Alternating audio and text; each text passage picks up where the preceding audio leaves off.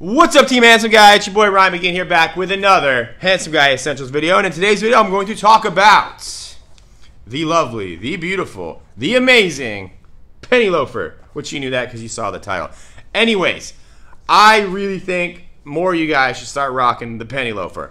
Here's why. Look, I get it. This is like all my stuff. This is going to get you way outside your comfort zone. It's going to make you feel a little weird at first when you start rocking these.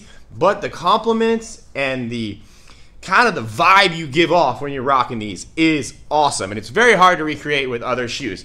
Um, for one, I love these. You don't have to wear socks. I'm not a big sock wearing guy. I really only wear them with boots, and sometimes I don't even do that. And a lot of people are like, ew, that's gross. Well, penny loafers are pretty much made to be worn without socks. And now, not just any of penny loafers is what I want you to have for the essentials, but I want you to find one similar to this this is from Aldo. It was around 120 bucks. So yeah, a little bit of investment. It's real leather. It's not the best quality penny loafer. Like I say, you can always go Johnston Murphy, Allen Edmonds, um, Rancourt & Co. There's a lot of like $400 brands. And this is another investment shoe. Similar to like the Double Monk. You're going to be rocking these a lot, especially if you rock any of my Team Handsome Guy stuff. As I move forward, I am big on the penny loafer, just like I am the Double Monk strap. With that said, you want to get like a modern version of the penny loafer. One that's like real kind of narrow. See how it's really low profile? It's not clunky it's lightweight and i say stick to black or brown. Don't get too there's a lot of crazy colors. You can get really fucking weird with the penny loafer. That's cool but for the sake of sake of these essential videos stick with the black or the brown and I just like to rock these with skinny jeans because remember the ankle? These things look really, really awesome when they have a narrow ankle on the pants.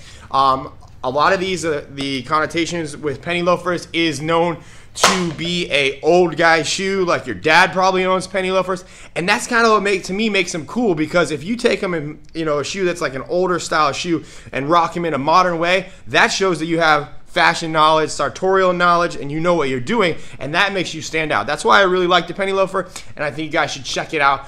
There, like I said, I like to rock it similar to how I'm showing you guys in this video, which is a pair of skinny jeans and uh, you know a button up or just a t-shirt. They just kind of elevate a casual outfit similar to a lot of the stuff i do. As you notice most of my stuff is going more towards the higher end of like a business casual type of uh, thing. Not so much you know obviously no sneakers but just to kind of elevate your everyday outfits to put you one level above everybody around you. And that's why i like the penny loafer. Check it out. Like i said mine that i'm showing here from aldo. Um, gh bass makes a couple really good ones that are around $100 you can go cheap with call it spring um, and like h&m has the cheap ones. I think you can find some cheap ones on topman um, or you can go boom like $400 $500 like rancourt and co's allen edmonds. Johnston murphy comes in about 200 i believe.